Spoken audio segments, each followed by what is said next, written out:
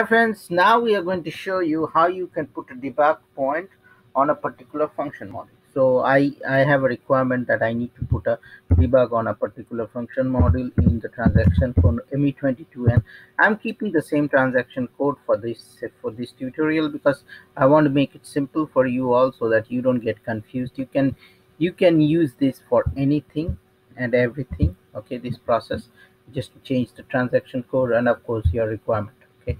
So you go to slash h and uh, the same thing the debugger is switched on i click on save. Okay at this point. Now when i click on save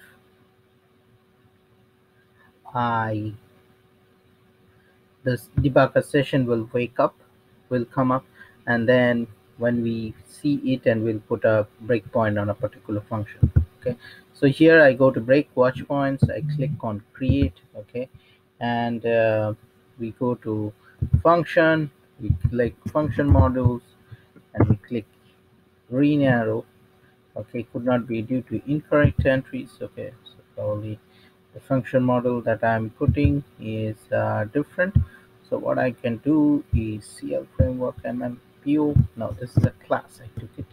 Okay so let me do one thing. I, I think it was related with price.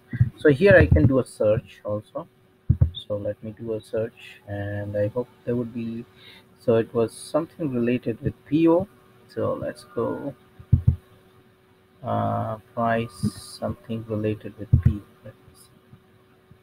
It was price po star and we'll do f4 and if we want we can put breakpoints in multiple okay? So we will show we'll try to put breakpoints on multiple okay? So i will put price post prices post prices prices post okay? So let's we'll put the breakpoint here. So what i'm going to do now cancel i copied all this. So i'll put one here. And it will stop. And so it's going through. And if it doesn't stop it that means there is no it will it, it gives you an error. So in the meantime it's, it's trying to do something okay? And here it gave the error message. So it didn't stop at that point. So what we can do suppose at this point we we want to see something related with prices okay? Again we'll try to put a breakpoint here. So let me go here and uh, put slash h again. So let's go here and we go into the desktop portion. And here again we can create a breakpoint as and when we need okay? So this is very very essential. And the function modules you know the prices post didn't get called so we can we can call some some other function modules okay? So let me close this taking forever. And uh, because it's a slow system now so what i'm going to do i click on do you want to save? and i click no. It takes me out okay? So what i can do is i can go to me22n again.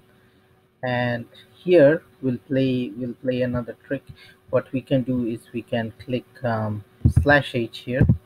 And the heck of it slash h uh, we can just we make some changes here.